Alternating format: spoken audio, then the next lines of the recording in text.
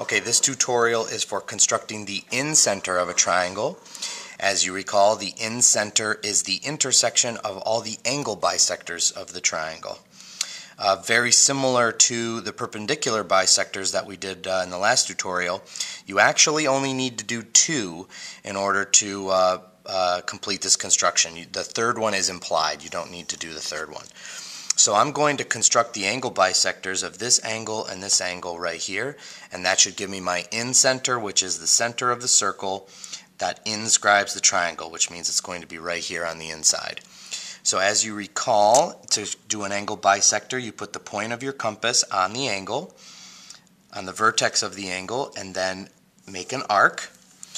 And then from here, we want to put the point of our compass right here, open it up more than halfway, make an arc an arc out here, turn around and do the same thing, and that will give me my angle bisector. So I'm going to put the point of my compass right on that intersection, open it up more than halfway, make a mark on the outside. It's not a very good mark. There we go. Make another one exact same distance on the other side. There we go. And now if I uh, connect the vertex of the angle and this intersection point, I should get a nice angle bisector. So now what basically what I know is that this angle is now congruent to this angle right here. That's definition of an angle bisector. So now I'm going to uh, repeat the process right down here and I'll do this angle right here. So I'm going to start by making my arc.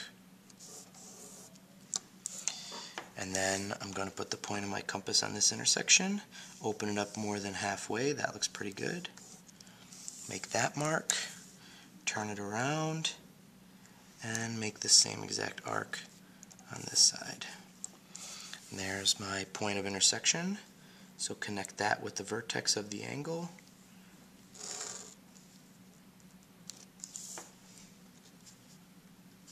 And there you go. So now what I've done is I've created the angle bisectors of this angle and this angle.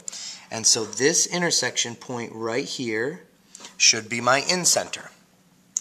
So theoretically, if I've done this correctly, I should be able to put the point of my compass right here open it up until it intersects one of the sides, and then if I draw a circle, it should intersect each side at just one point. In other words, it shouldn't cross outside the triangle.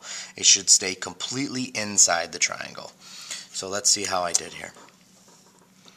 Point of my compass on the center, open it up so it's just on the line, right about there.